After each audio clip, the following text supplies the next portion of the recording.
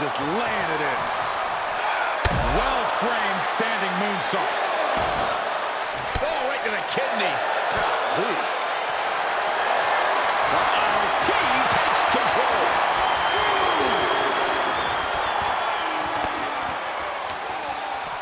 And Sami Zayn reverses it.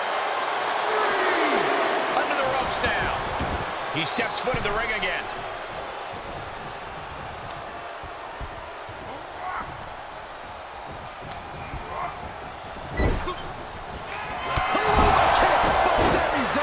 That has got to be the one.